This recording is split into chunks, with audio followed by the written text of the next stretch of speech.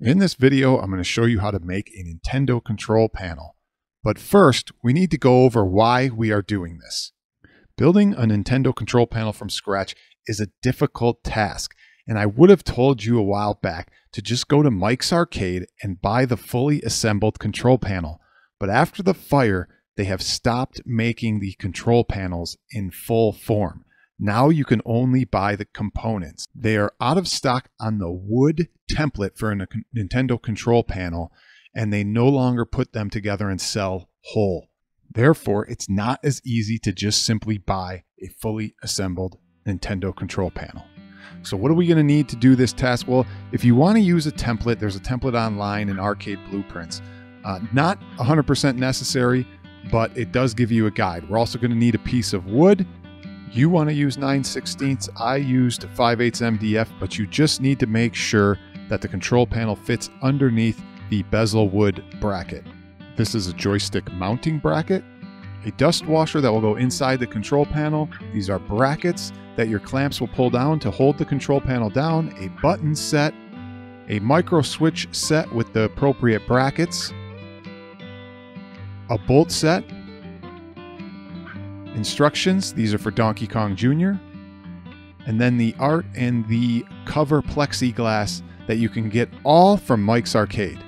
Now I'm going to use the blueprint as a guide, but I'm technically just going to use the plexiglass cover, set it up and center it appropriately, appropriately, mark the holes, and then drill eight holes that the bolt set will go through to hold the plexiglass cover slash artwork in place.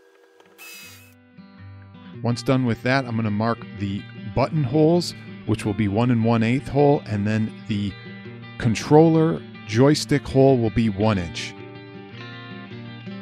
I'm going to mark the bracket because we're going to have to cut a groove out and sink this bracket in from the top of the control panel so it's flush with the top of the control panel. I'm going to have to make a template so I can mark all the holes and the correct size of that bracket. Now, before we route the hole out for the bracket, I'm going to cut the groove for the T molding that goes in the front of a Nintendo control panel. We're just simply going to use our router and cut a groove. We're also going to cut a beveled type of edge where the back of the control panel goes underneath the bezel bracket. You want to make sure the control panel is going to slide underneath that bracket that is underneath your bezel. After that, we're going to route a small groove for the bracket to sit in. Again, we need the bracket to sit flush on top of the control panel, so we have to cut out a groove on the top. You can see right there that there is a square groove and once we set the bracket in it, it's going to sit flush in there. Now, inside is going to be where the washer floats, just like that. I'm going to cut a deeper groove because I don't want that washer sticking at all on any piece of the control panel, plexiglass, or the laminate that's going to go on top. You can see there's a slightly deeper hole for the washer to sit inside. Now we're going to have to flip the control panel over on the underside and cut out another groove, route out another groove for the joystick to sit in. This is going to sit deep into the underside of the control panel. And if you don't do this, then your joystick is going to sit way too low and be uncomfortable. You have to cut this out, groove it, and then place the joystick in that groove. Now we're going to cut the holes out again one inch for the joystick hole.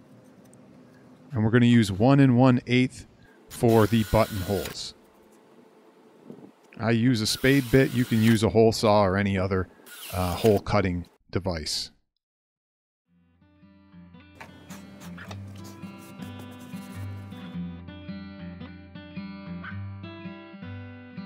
We now mount the bracket for the joystick and there are some screw holes that you can screw it down to keep it in place.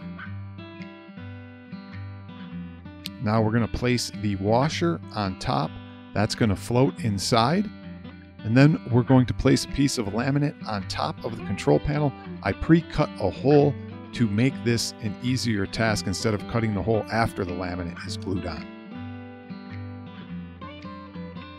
We're going to use Spray 90. I strongly recommend using this and no other brands.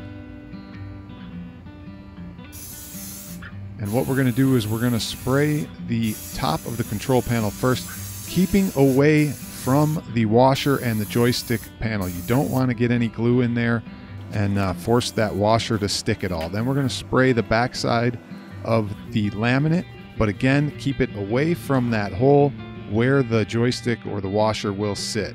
Then we're going to place it on top, press it down, let it dry for about 10 minutes, and then we're going to have to route and trim.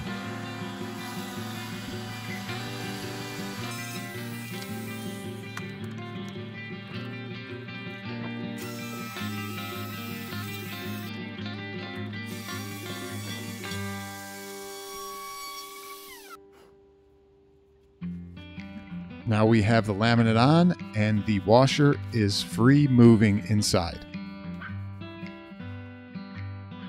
Once we clean it up, we can now put the plexiglass art and the instructions on. I used a thin piece of two-way tape just to keep the instructions in place. Line up the plexiglass artwork and then put our bolt set through the top of the plexiglass artwork. Tighten the nuts from the backside and then your artwork will be affixed to the control panel.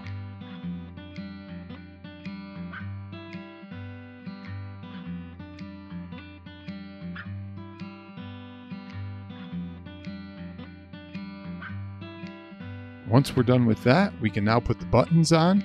This is simply screwing the nut over the top of the bracket and micro switch housing. As you can see here, it's pretty self-explanatory.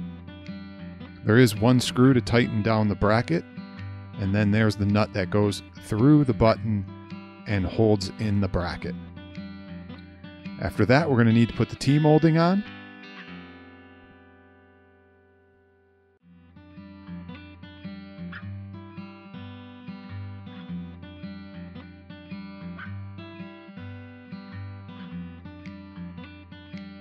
After that, only a couple things left to do. One, put the joystick on, and two, put the clamps on or the brackets that the clamps will pull down on on the side of the control panel to hold the control panel onto the cabinet. So let's put the brackets on that uh, the clamps will pull down on.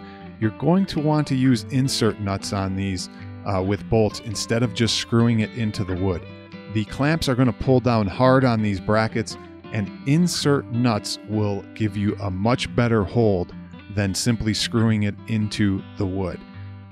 You'll notice I have used, uh, put the insert nuts already in and I'm screwing bolts down to hold these in place. If you're not familiar with insert nuts, just go ahead and Google that. When it was all said and done, it would look like this.